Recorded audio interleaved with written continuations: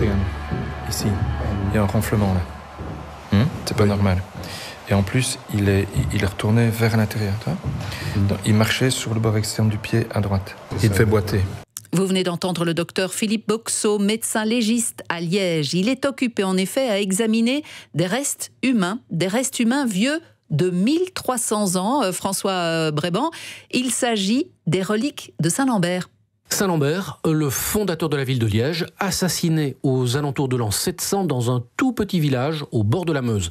Alors vous venez de l'entendre, Lambert était boiteux. Ça, personne ne le savait. C'est le tout premier renseignement tiré de l'analyse médico-légale que le docteur Boxot vient de commencer. Alors François, pourquoi mener une analyse médico-légale sur les restes de quelqu'un qui est mort il y a quand même plus de 1000 ans? Ça sert à quoi?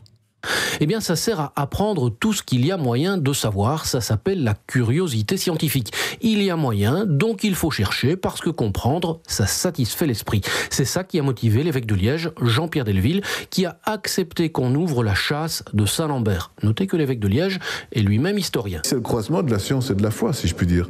Sur cette base-là, on s'est dit la même chose, et c'est le docteur Boxot lui-même, je pense, qui a même pris l'initiative. Pourquoi ne pas examiner les reliques de Saint-Lambert qui étaient de notre région Et donc ainsi est née l'idée.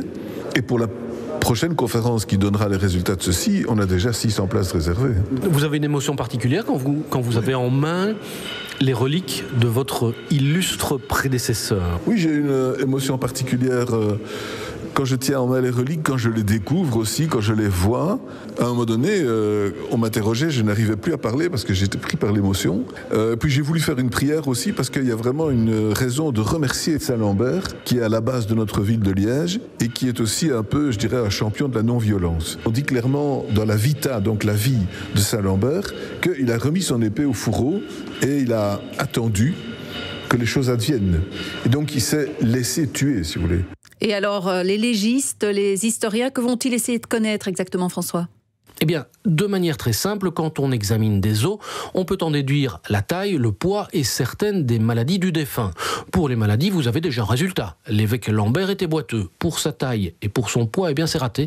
On a les deux tibias qui auraient pu permettre d'évaluer ça, mais ces deux tibias sont incomplets, cassés au bout. On ne pourra donc pas savoir si Saint-Lambert était en vrai le plus grand des Liégeois. Alors, on ne va pas non plus tenter le carbone 14 pour dater les os, ni une recherche ADN pour savoir si Saint-Lambert a des descendants à Liège.